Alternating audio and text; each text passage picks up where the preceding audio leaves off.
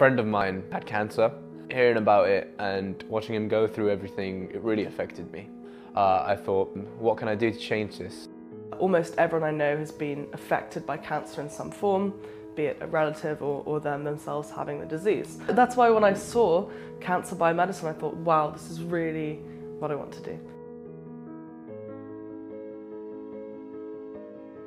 In the first year, you get a really strong knowledge of different body systems on a macro level and on a molecular and micro level, uh, and how they interact with each other in health and in disease.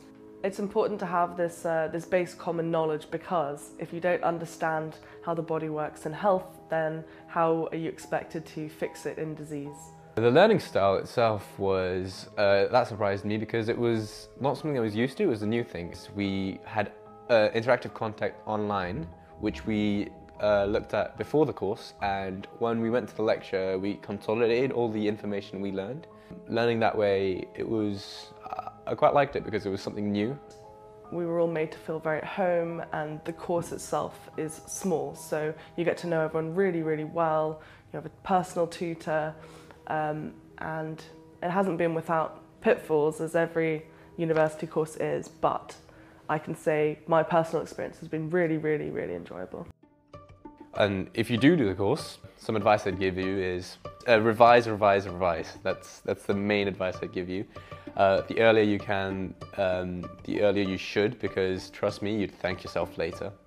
Over the summer, I've been lucky enough to uh, join a team of consultants from UCLH to do a research project on uh, HPV.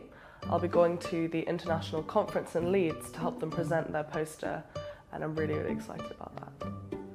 I don't think it would have been possible for me to get this project uh, without the skills that I've learned in my first year at UCL. So all of the teamwork, um, the communication skills, the work on presenting and making a poster, as well as collating a useful lab book um, so that all of the research and ideas are in one place. I wouldn't have been able to do it without that. So after the course, um, I don't. I want to go to research, but I don't know which field yet.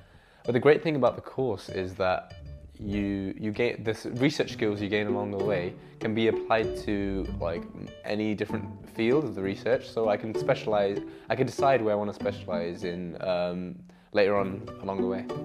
I would like to go into research, uh, cancer research, things like that. Um, so I felt that that prepared me really well to, to go in front of real scientists, which I'll be doing this summer um, and present my own poster.